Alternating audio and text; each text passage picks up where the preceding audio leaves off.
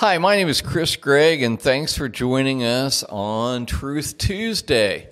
Today, the title of my thought is we need to turn our hurts over to God as we live, as we breathe, as we get involved with other people, as we serve God. There's going to be hurts, there's going to be trouble, there's going to be drama. Just understand that that's a part of life and living. But the most important thing is what are we going to do with those hurts, those hurt feelings, the times when people either intentionally or unintentionally hurt us? How are we going to deal with that? I'll tell you what, if you hold on to it, if you keep a grudge, hold a grudge, if you hold on to it for very long, it'll turn into resentment and bitterness. And it may come out as revenge, but it also damages your health.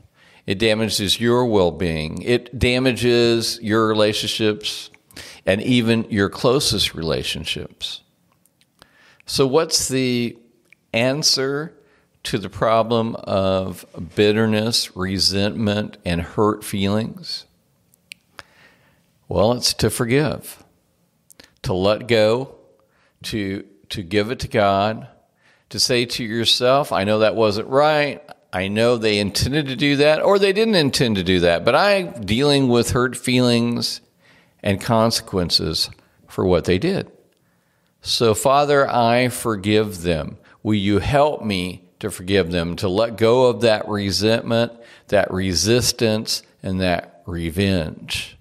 And that will change your life. You will be healthier, you will be wealthier, you will be happier, and also it allows you freedom from that focus. Jesus said in, in the Lord's Prayer, He says, As you forgive, so shall you be forgiven. So today, you might want to take stock, take inventory, think about where your resentments are, where your hurts are, and forgive. Thanks for joining us for Truth Tuesday, and I hope you have a great day.